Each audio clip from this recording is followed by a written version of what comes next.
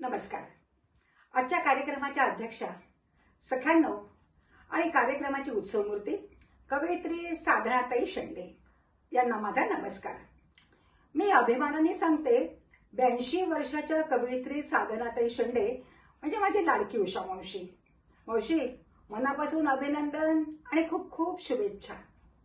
आदरणीय कवयित्री साधनाताई शेंडे यांच्या मधुघाट या कवितेच्या पुस्तकाच्या लोकार्पण कार्यक्रमात मला सहभागी केल्याचा विशेष आनंद आहे. धन्यवाद सुचित्रा. मधुघट.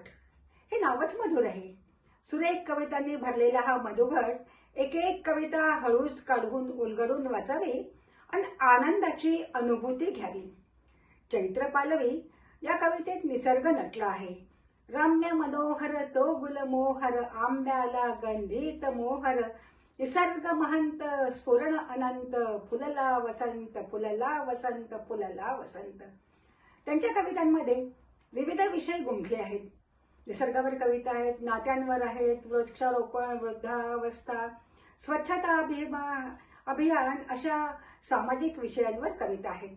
सणांवर आहेत महान विभूतींवर आहेत. काही कविता आयुष्यावरील तत्वज्ञान विषयक आहेत.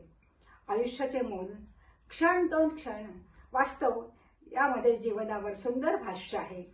संघर्षाचे वादळ आले तरी मागे फिरायचे नाही. जीवन एक जुगार आहे त्यात कधी हरायचे नाही. किती सुंदर मनोबोध आहे. वेदना दुःख सुख आनंद या भावभावांना हृदयाला स्पर्शून जातात. शब्दरूपाने त्या कवितेत उतरतात. कवितेत अतिशय संवेदनशील भावूक मनाचं हळुवार व्यक्त होणं असतं.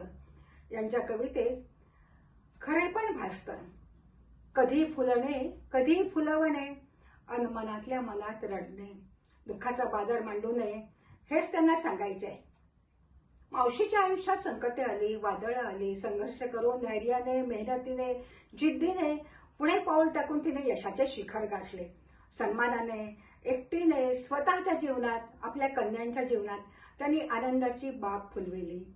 मुख्याध्यापिका पदावरून निवृत्त झाल्यावर त्यांची काव्यलेखनाला सुरुवात झाली.